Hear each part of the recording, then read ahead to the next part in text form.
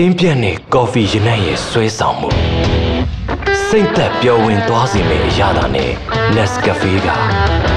အောင်မြင်မှုကိုတင့်တယ်ယူဆောင်လာတော့မှာပါ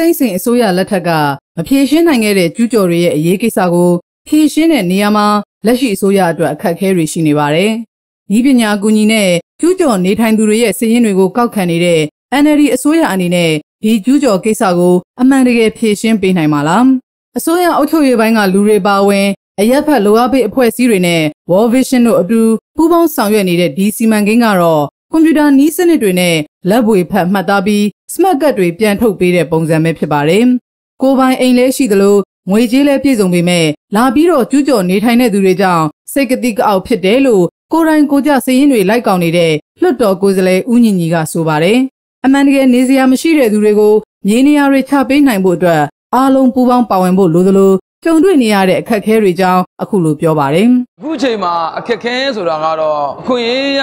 ငွေကြေးချမ်းသာတဲ့ပုံကိုယ်တွေเนาะကျွန်တော်အိမ်ရှိရသားနဲ့အိမ်ကိုရောင်းပြီးတော့လာရောက်ကျူးတဲ့ပုံကိုယ်တွေဒါတွေကိုတော့ကျွန်တော်တို့စိတ်ကတိကအောင်ဖြစ်မှုပါတယ်အဲ့တော့ချားမြင့်နယ်တွေကိုကောက်မယ်ဆိုရင်တော့ကျွန်တော်ပြောချင်တာကတော့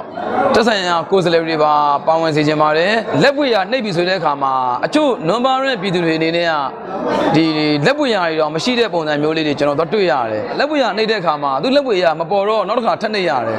နောက်တစ်ခါထပ်နှိပ်တဲ့အခါ မှာသူရဲ့ကွန်ပျူတာ software ကနေပြီးတော့ဒီဟာလက်မခံတော့ဘူးအဲ့ဒီခါကျရင်အဲ့ဒီ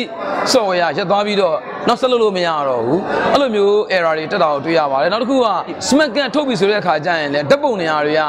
မဲနေပြီးတော့ကျွန်တော်တို့ဘာမှမမြင်ရတဲ့ပုံစံမျိုးတွေကိုကျွန်တော်တွေ့ရပါတယ်ပထမဆက်ဆက်လုပ်ခြင်းရက်မှာဆိုရင်ကျွန်တော်တယောက်မှကောက်ပြမရတော့ကျွန်တော်တွေ့ခဲ့ရပါတယ်ဒါပေမဲ့နောက်ပိုင်းမှာတော့ဒီကောက်ယူမှုတွေကတဖြည်းဖြည်းနဲ့တော့အဆင်ပြေလာပါတယ်ဗျဟုတ်လက်ရှိမှာတော့ ဒဂုံမြို့သစ်တောင်ပိုင်းမှာရှိနေတဲ့ကျူးကျော်စင်း2500ကျော်ကိုပြုစုပြီးပါပြီ။ဒီစီမံကိန်းကိုတခြားမြို့နယ်တွေမှာပါဆက်လက်ဆောင်ရွက်သွားအောင်မှာပါ။အိမ်အောင်စုနှစ်စုဖြစ်နေတာမျိုးပတ်စံရှိတဲ့သူတွေကစည်ရင်လာပေးတဲ့ကိစ္စမျိုးတွေလည်းရှိနေတယ်လို့လက်ရှိကြုံနေရတဲ့အတွေ့အကြုံတွေကိုဒေါ်စုစုတင်ကပြောပါတယ်။တစ်ခါတလေကြောက်လို့ရှိလို့ရှိရင်ဟိုမိသားစုတစုတည်းဟိုနှစ်ဦးလာတာမျိုးပတ်စံရှိတဲ့သူတွေကဒီမှာလာပြီးကြွကြော်စင်းရင်ပေးတာမျိုးအဲ့လောက်ပဲအဲ့လောက်ပါပဲ ကျူးကျော်တွေချင်းချင်းလဲတဆင့်ငားတာရောင်းတာမျိုးတွေမြင်နေရပြီးအထက်ကညွှန်ကြားထားတဲ့အတိုင်းမှတ်ချက်ရေးထားတယ်လို့စည်ရင်ကောက်အဖွဲ့ခေါင်းဆောင်ဦးမြင့်ဝင်းကဆိုပါတယ်။စည်ရင်ကောက်ပြီးဘာဆက်လုပ်မလဲဆိုတာကိုတော့ရန်ကုန်တိုင်းအစိုးရအဖွဲ့ကဆုံးဖြတ်သွားဖို့ရှိနေပါတယ်။ကျူးကျော်တွေနဲ့ပတ်သက်လို့ကတော့ကျွန်တော်တို့ဒီနေ့တွေ့နေတာကကျူးကျော်ကနေပြီးတော့ကျူးကျော်ကိုငှားစားတာတွေရောင်းချထားတာတွေစာချုပ်စာတမ်းတွေနဲ့တွေ့ပါတယ်ဒါတွေကိုလည်းကျွန်တော်တို့ကရန်ကုန်တိုင်းဝန်ကြီးချုပ် ကနေပြီးတော့အစင်းစင်ညွှန်ကြားတဲ့အတိုင်းကျွန်တော်တို့ဒီမှာကုတ်ကဲနေတဲ့ခရိုင်ညွှန်မှုနဲ့မြို့နယ်အုပ်ချုပ်ရေးတွေရဲ့ညွှန်ကြားတဲ့အတိုင်းဖောင်ဝဲအောက်မှာ